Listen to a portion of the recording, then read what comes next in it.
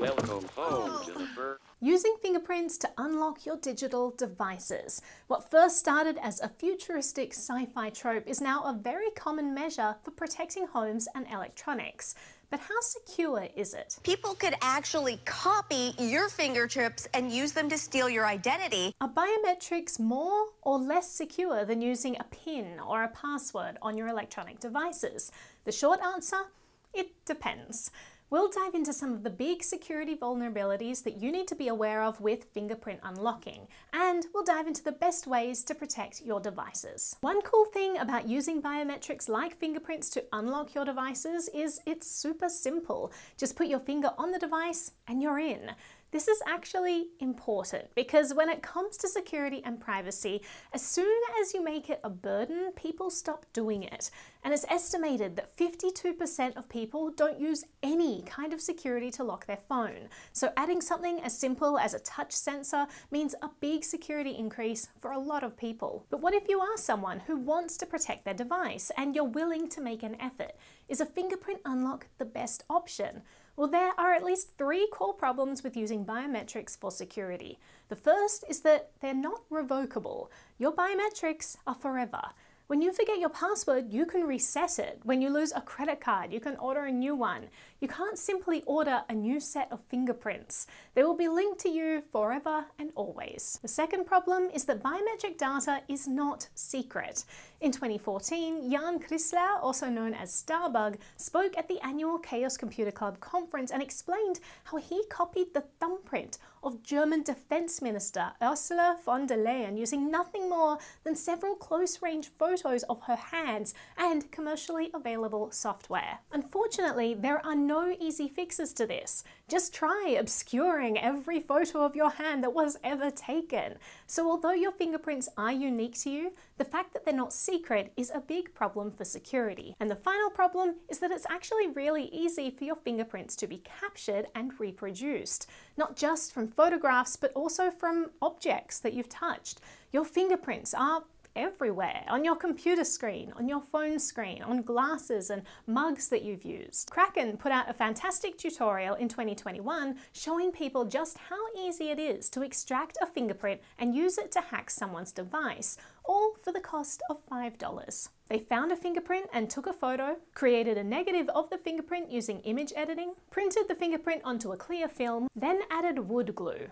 After the wood glue has cured, we are left with a slim fingerprint copy and even this unsophisticated copy is enough to unlock all types of devices. They use this copy to unlock an iPad, MacBook Pro, and even a hardware wallet. In 2020, Cisco Talos Security Group revealed an 80% success rate while using fake fingerprints, where the sensors were bypassed at least once. As it's just not feasible to wipe every surface that you touch, that does mean that you're leaving behind helpful keys that malicious attackers can use to unlock your devices. To make matters worse, researchers at NYU reported in 2017 that most smartphones don't capture a user's full fingerprint.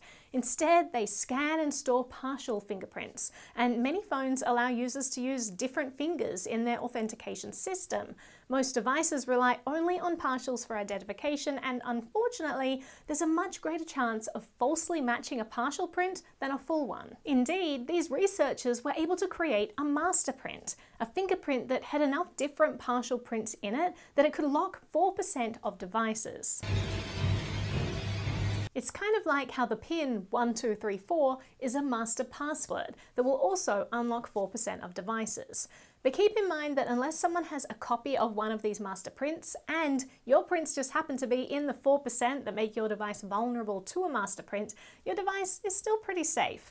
And if you're not susceptible to a master print, to hack your device would involve not only obtaining a clean image of your prints, but also getting physical access to your device. It's a pretty involved attack that you would have to be specifically targeted for, and only the most determined and capable adversaries would succeed.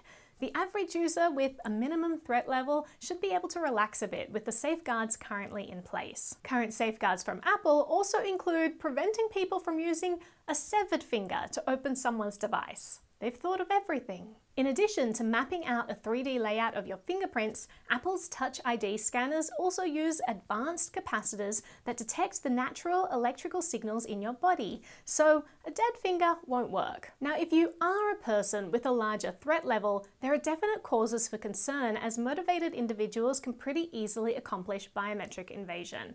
Besides using the techniques we just discussed, fingerprint security can make it easier for someone to forcibly make you unlock your phone.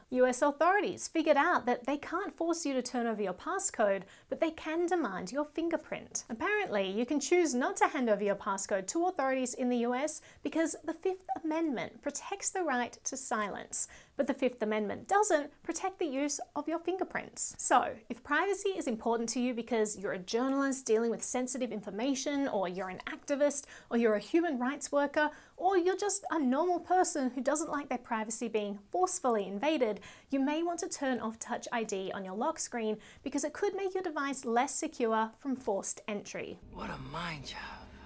One final issue that we'll mention is that people are often concerned that if they use biometrics on their devices, these fingerprints will be collected in some database somewhere, vulnerable to hacking. This is definitely a concern if you work in a location where your fingerprint is used to log into a server or gain privileged access, and it's not always clear whether this information is being stored securely. In 2015, a US government hack saw 5.6 million fingerprints stolen from federal employees. And in 2019, the fingerprints of over a million people, as well as facial recognition information, unencrypted usernames and passwords, and personal information of employees was discovered on a public publicly accessible database. We unfortunately can't comment on measures you can take if you work in a facility that requires your fingerprint to be stored in a database, but Apple and Android both take measures to protect your fingerprint on your devices. Apple stores your fingerprint on the device itself and uses a system called a secure enclave, which is a separate processor to handle your biometric information. It boots separately from the rest of your device and it's not directly accessible by your operating system or any of the programs running on your device. Android uses a system called the Trusted Execution Environment, or TEE.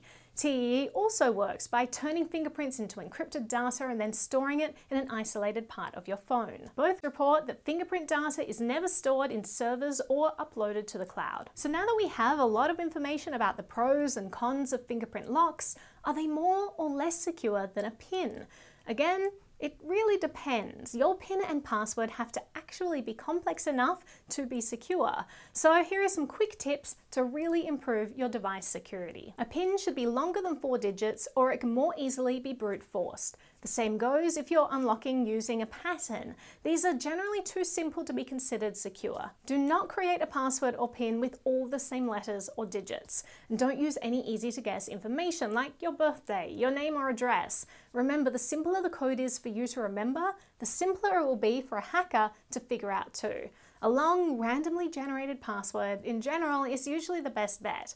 But striking a balance between convenience or ease of remembering and being actually secure enough can be difficult.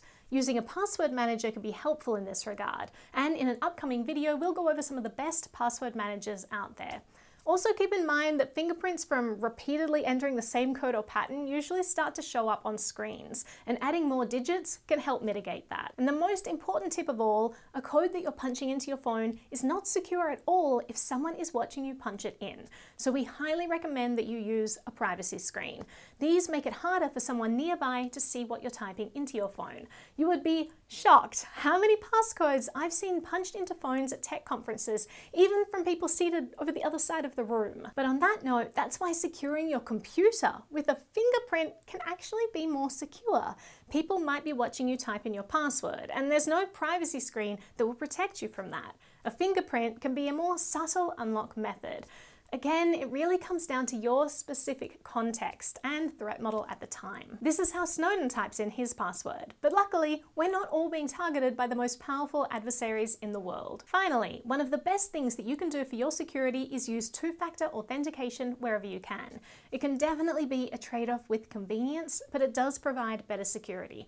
We'll dive into different two-factor authentication methods in another video. To summarize, fingerprints are more like usernames than passwords. They're unique, static, and identifiable as belonging to you.